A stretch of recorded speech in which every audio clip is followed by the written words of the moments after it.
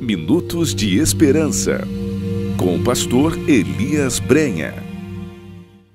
Olá, tudo bem? O texto de hoje está na carta de Paulo aos Filipenses, capítulo 4, verso 19.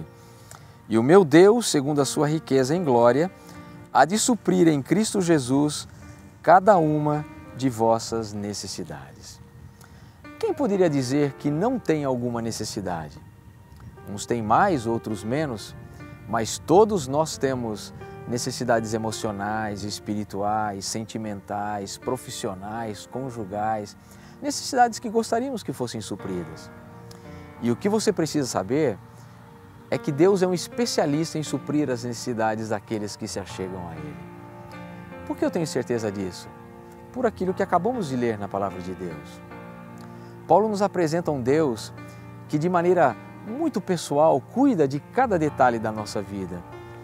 Ele não é um Deus distante, como alguns acreditam, mas um Deus presente, que quer fazer parte ativa em nossa vida e quer suprir todas as nossas necessidades. Veja que interessante.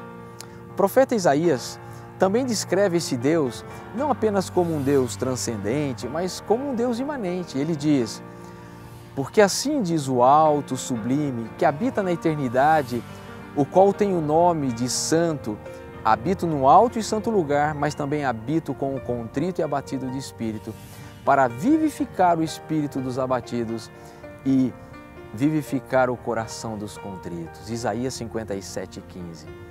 Esse é o nosso Deus, um Deus que, apesar de ser dono de tudo, quer, através da sua riqueza, suprir todas as nossas necessidades. Um Deus que sempre vai à nossa frente providenciando todas as coisas. Porém, eu ainda preciso lhe dizer algo muito importante. Não podemos confundir desejos com necessidades. Deus não confunde. Ele sempre suprirá as necessidades que ele considera como sendo necessidade. Então, qual deveria ser a nossa atitude?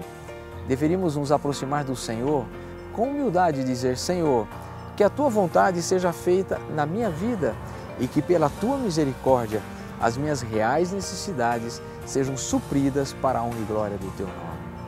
Essa atitude está em perfeita harmonia com as palavras de Paulo em Hebreus 5,16, quando ele escreve: Acheguemo-nos, portanto, confiadamente junto ao trono da graça a fim de recebermos misericórdia e acharmos graça para socorro em ocasião oportuna.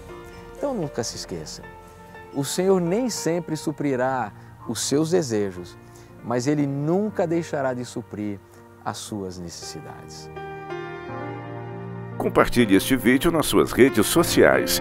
Compartilhe esperança.